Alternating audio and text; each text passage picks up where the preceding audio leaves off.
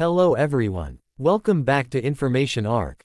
Today, we're diving into a fundamental aspect of our digital world, information technology, or IT. So, what exactly is information technology?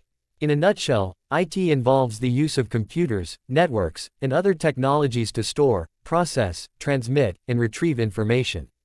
Key components of information technology Hardware the physical components like computers, servers, and devices that make up the IT infrastructure. Software. The programs, applications, and operating systems that enable users to interact with the hardware and perform various tasks. Networks. The interconnected systems and communication pathways that allow data to flow between devices. Importance of information technology. Information technology plays a crucial role in our daily lives, business operations, and societal advancements. It enhances communication, facilitates data management, and drives innovation.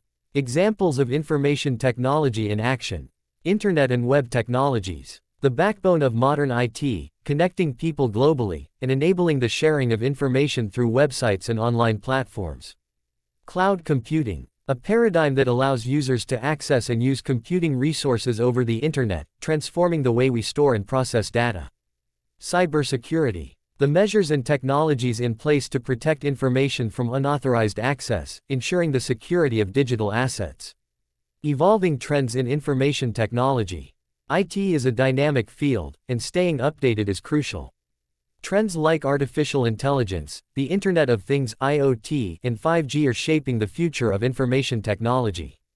In conclusion, information technology is the backbone of our digital world, encompassing hardware, software, networks, and more. As technology continues to evolve, so does the impact of IT on our lives. If you found this video helpful, don't forget to like, share, and subscribe for more content.